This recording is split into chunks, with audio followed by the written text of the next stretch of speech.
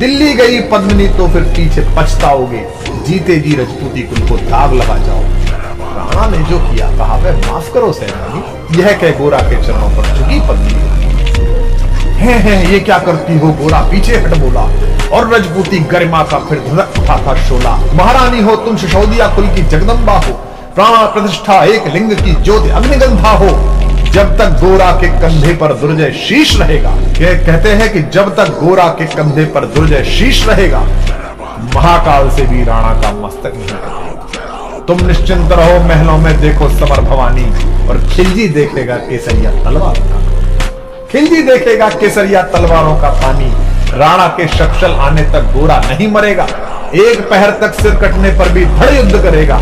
एक लिंग की शपथ महाराणा वापस आएँगे। महाप्रलय के घोर प्रबंधन भी न रोक पाएँगे।